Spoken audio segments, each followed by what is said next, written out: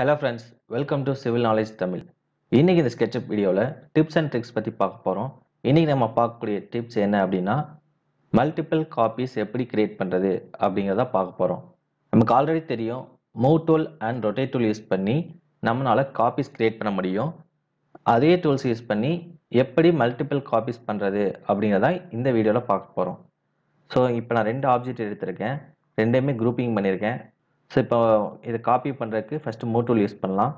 மோட்டூலோட shortcut key பார்த்தீங்கன்னா M எம்மை press பண்ணிங்கன்னா மோட்டூல் ஆக்டிவேட் ஆகிடும் ஒன்ஸ் ஆக்டிவேட் ஆனதுக்கப்புறம் ஏதோ ஒரு பாயிண்ட் கிளிக் பண்ணிவிட்டு கண்ட்ரோல் ப்ரெஸ் பண்ணி அப்படியே மூவ் பண்ணுங்கள் ஸோ இப்போ நான் அப்பர் டைரெக்ஷனில் மூவ் பண்ணுறேன் என்ன டிஸ்டன்ஸ் வேணுமோ அந்த டிஸ்டன்ஸில் ஒரு காப்பி க்ரியேட் பண்ணலாம். ஃபார் எக்ஸாம்பிள் ஒரு சிக்ஸ் ஃபீட் டிஸ்டன்ஸில் ஒரு காப்பி க்ரியேட் பண்ணுறேன் ஃபஸ்ட்டு காப்பி க்ரியேட் பண்ணதுக்கப்புறம் எந்த கீயும் ப்ரெஸ் பண்ணாமல் எந்த டூலும் மாற்றாமல் அப்படி அதே டிஸ்டன்ஸ் எத்தனை காப்பீஸ் வேணுமோ அதை இன்ட்டு சம்திங் ஃபார் எக்ஸாம்பிள் ஒரு சிக்ஸ் இன்ட்டு சிக்ஸ் டைம்ஸ் அப்படின்னு டைப் பண்ணி என்டர் பண்ணுங்கள் இப்போ பார்த்தீங்கன்னா உங்களுக்கு சிக்ஸ் டைம்ஸில் சேம் டிஸ்டன்ஸில் சிக்ஸ் காப்பீஸ் வந்து க்ரியேட் ஆகிருக்கும் ஸோ இதே மாதிரி தான் அகெயின் எந்த டேரக்ஷனில் வேணாலுமே நீங்கள் என்ன டிஸ்டன்ஸில் வேணாலும் காப்பி பண்ணிக்கலாம்.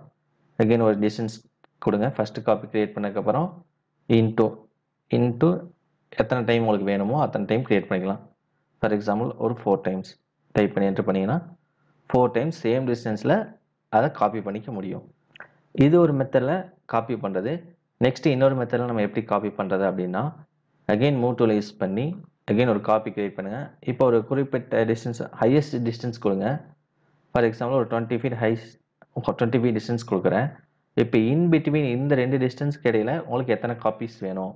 அதை பண்ணுறதுக்கு divide by some value for example four அப்படின்னு கொடுத்து என்டர் பண்ணிங்கன்னா ஃபஸ்ட்டு பாயிண்ட்டுக்கும் லாஸ்ட்டு பாயிண்ட்டுக்குள்ள டிஸ்டன்ஸை நம்ம ஃபோராக பிரித்தோம்னா எத்தனை காப்பீஸ் வருமோ அத்தனை காப்பீஸ் வந்து க்ரியேட் ஆகும்.